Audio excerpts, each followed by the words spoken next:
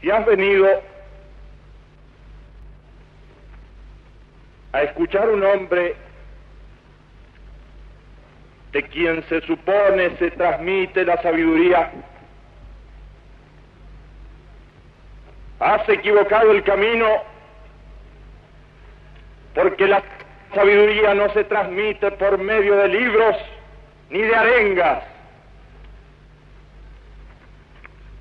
La sabiduría está en el fondo de tu conciencia como el amor, está en el fondo de tu corazón.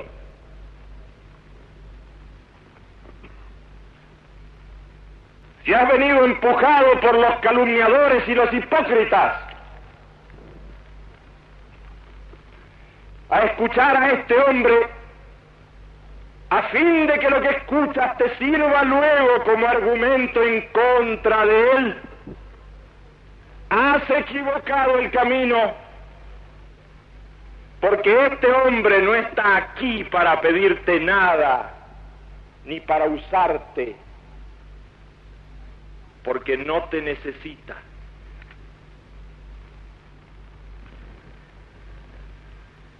Escuchas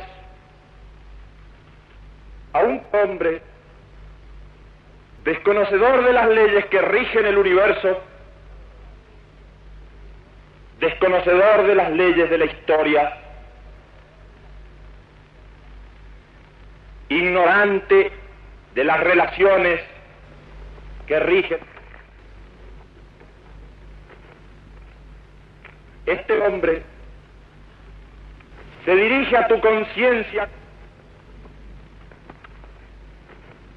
allí en las ciudades donde cada día es un afán truncado por la muerte, donde al amor sucede el odio, donde al perdón sucede la venganza. Allí en las ciudades de los hombres ricos y pobres, allí en los inmensos campos de los hombres, se ha posado un manto de sufrimiento y de tristeza.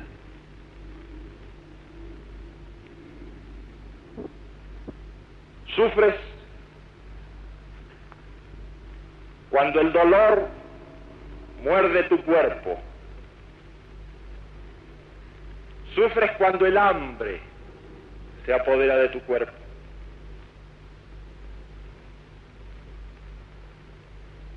Pero no solo sufres por el dolor inmediato de tu cuerpo, por el hambre de tu cuerpo, sufres también por las consecuencias de las enfermedades de tu cuerpo.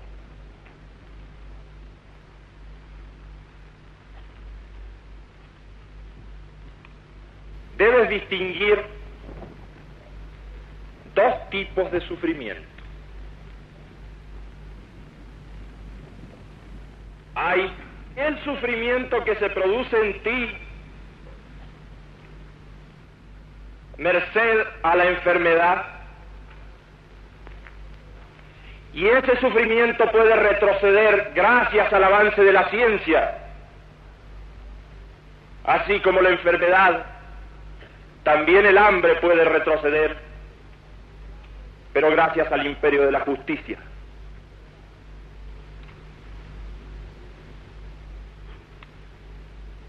Hay otro tipo de sufrimiento que no depende de la enfermedad de tu cuerpo, sino que deriva de ella. Si estás impedido, si no puedes ver, o si no oyes, sufres. Pero aunque este sufrimiento derive del cuerpo o de las enfermedades de tu cuerpo, tal sufrimiento es de tu mente.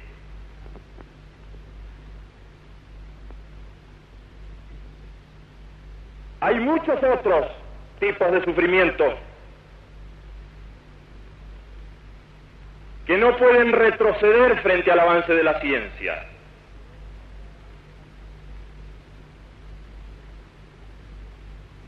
Ese tipo de sufrimiento que es estrictamente de tu mente retrocede frente a la fe, frente a la alegría de vivir, frente al amor.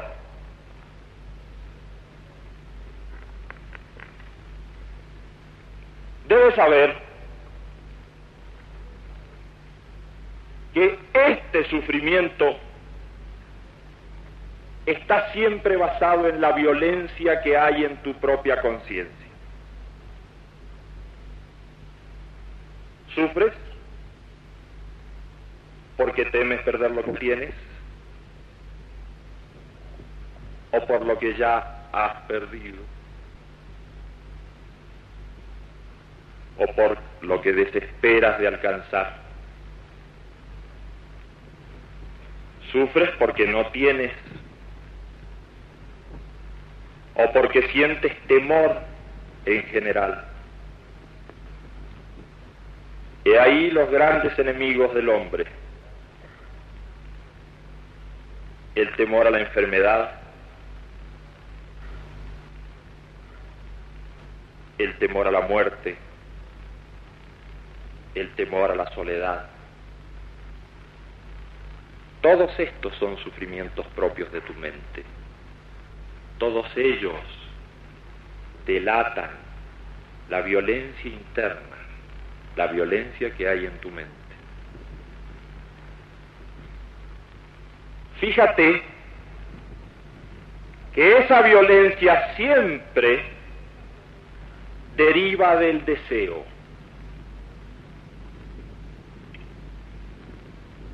Cuanto más violento sea un hombre, más groseros son sus deseos.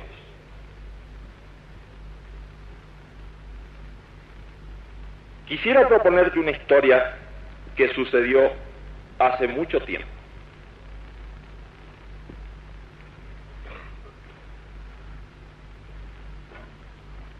Existió un viajero que tuvo que hacer una larga travesía.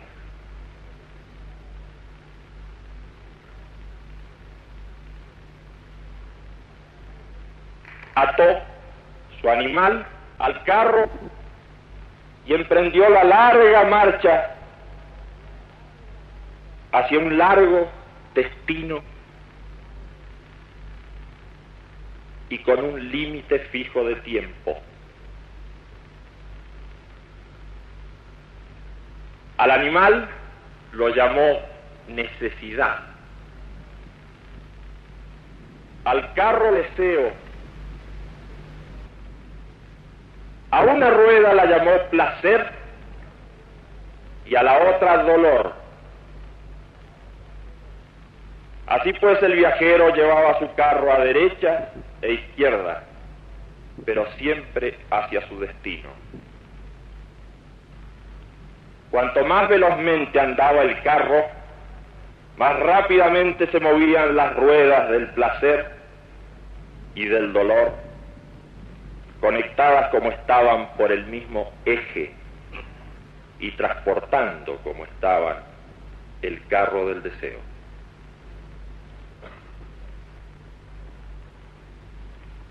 Como el viaje era muy largo, nuestro viajero se aburría y decidió entonces decorarlo,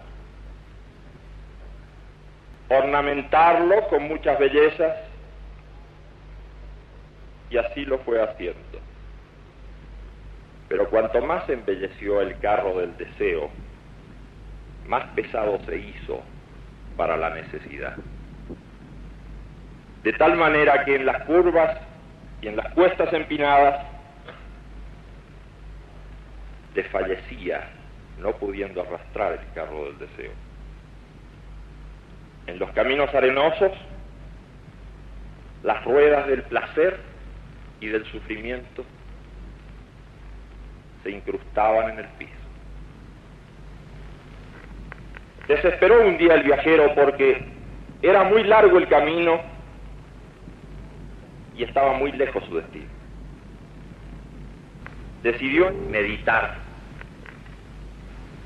esa noche. Y al hacerlo escuchó el relincho de su viejo amigo. Comprendiendo el mensaje a la mañana siguiente, desbarató la ornamentación del carro, lo alivió de sus pesos y muy temprano al trote, su animal avanzando hacia su destino.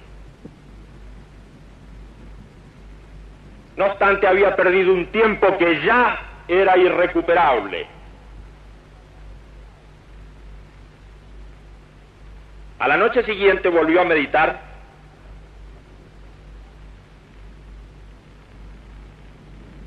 y comprendió por un nuevo aviso de su amigo que tenía ahora que acometer una tarea doblemente difícil porque significaba su desprendimiento. Muy de madrugada sacrificó el carro del deseo. Es cierto que al hacerlo perdió la rueda del placer, pero con ella perdió también la rueda del sufrimiento. Montó sobre el animal de la necesidad, sobre sus lomos, y comenzó al galope por las verdes praderas hasta llegar a su destino.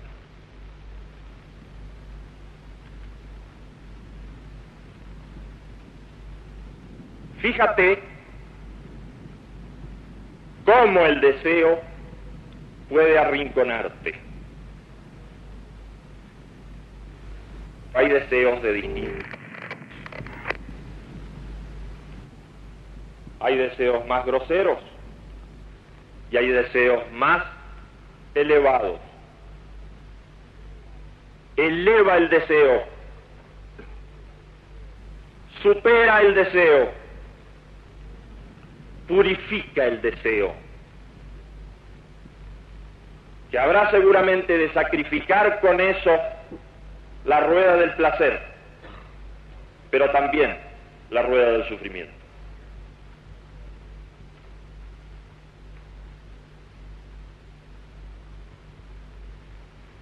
La violencia en el hombre, movida por deseos, no queda solamente como enfermedad en su conciencia, sino que actúa el mundo de los otros hombres, se ejercita con el resto de la gente. No creas que hablo de violencia refiriéndome solamente al hecho armado de la guerra, de violencia física, Hay una violencia económica. La violencia económica es aquella que te hace explotar a otro.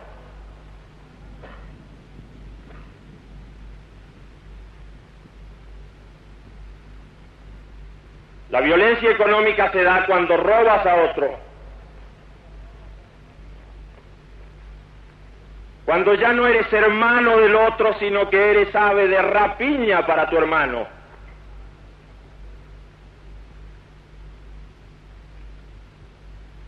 Hay además una violencia racial. ¿Crees que no ejercitas la violencia cuando persigues a otro que es de una raza diferente a la tuya?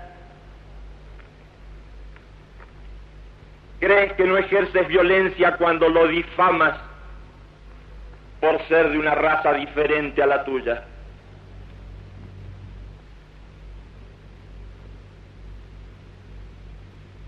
Hay una violencia religiosa.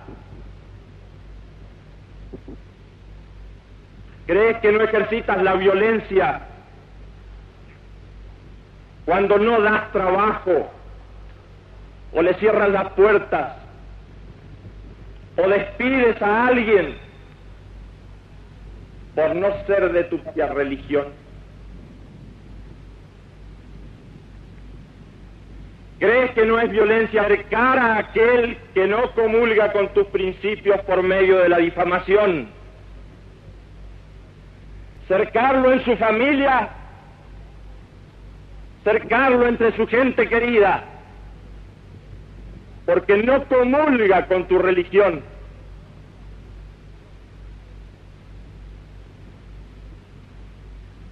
Hay otras formas de violencia impuestas por la moral filistea.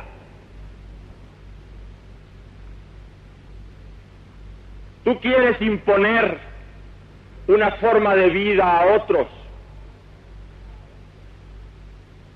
Tú debes imponer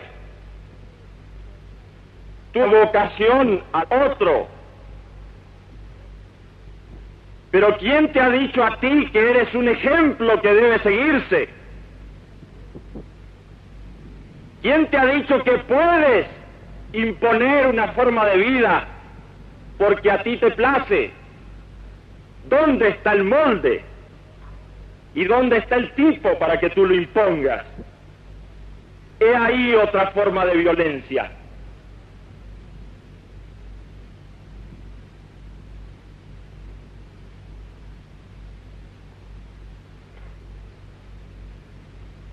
Únicamente puedes acabar con la violencia en ti y en los demás y en el mundo que te rodea por la fe interna y la meditación interna. No hay falsas puertas para acabar con la violencia. Este mundo está por estallar y no hay forma de acabar con la violencia. No busques falsas puertas. No hay política que pueda solucionar este afán de violencia enloquecido.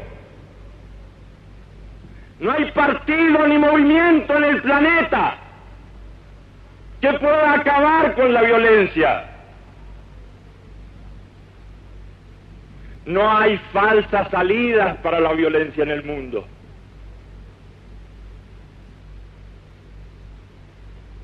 Me dicen que la gente joven en distintas latitudes está buscando falsas puertas para salir de la violencia y del sufrimiento interno busca la droga como solución. No busques falsas puertas para acabar con la violencia.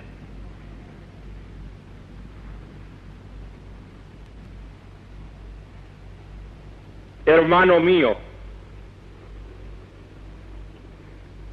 cumple con mandatos simples, como son simples estas piedras y esta nieve y este sol que nos bendice.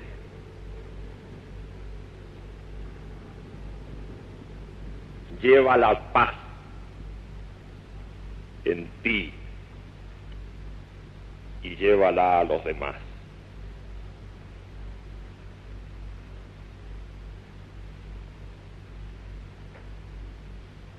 Hermano mío,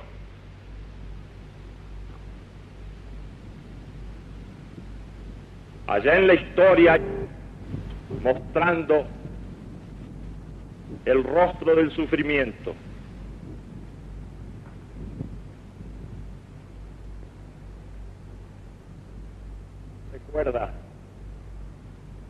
Que es necesario seguir adelante y que es necesario aprender a reír. Y que es necesario aprender a amar a ti, hermano mío, te arrojo esta cosa